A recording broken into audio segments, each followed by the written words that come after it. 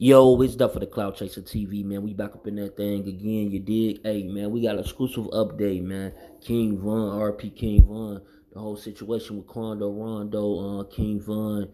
They had a little shootout, um, fight about a month ago inside of a hookah palace or hookah lounge in uh, Atlanta.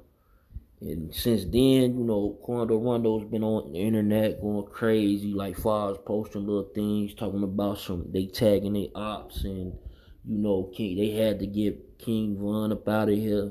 And um a lot of people from Chicago, let alone worldwide, you know, that's our van that's um King Von fans are coming in pretty much, you know, they got a lot to say.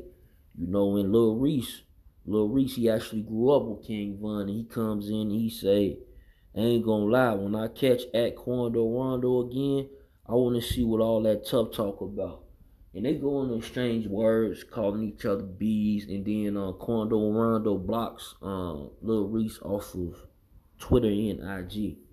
So, you know, it's getting deep, man. Y'all get in the comments and let me know what y'all think. Because um, the main thing, Lil Reese, he was trying to tell Quando Rondo is like he need to stop with all the social media shit.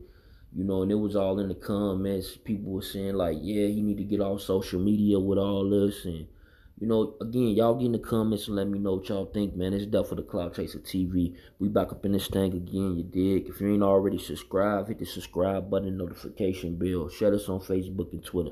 Gang.